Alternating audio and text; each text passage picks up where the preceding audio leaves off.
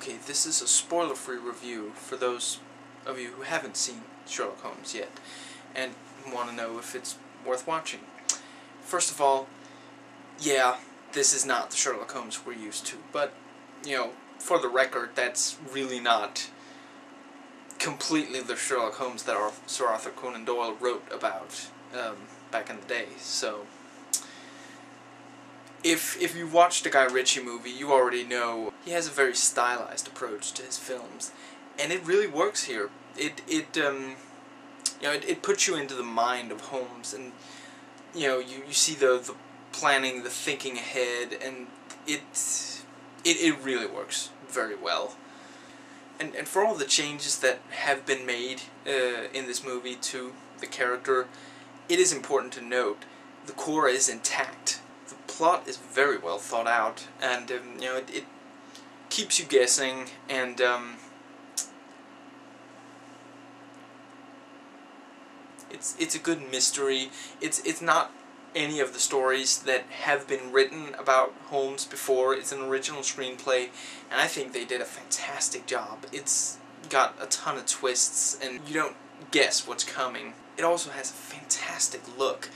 It, um, I mean, the, the fact that this is a contemporary piece did not slow down Guy Ritchie one bit. He makes it look so just incredible. Uh, Victorian London, and has tremendously high production value.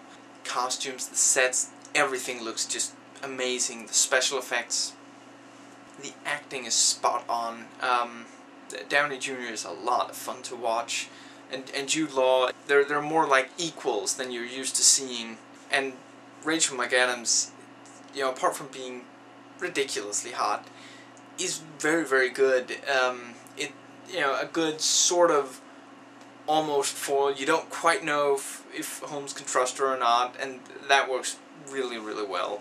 And the villain, um, you know, the, um, Lord Blackwood, uh, that's Mark Strong, who I've, you know, I've been wanting to see him in something else ever since I saw him in Body of Lies because I thought he did fantastic in that movie. He was by far my favorite part about uh, my favorite part of that entire movie, and you know he's he's fantastic. Um, you know, very very menacing, and you know, and and not just uh, not over the top uh, either.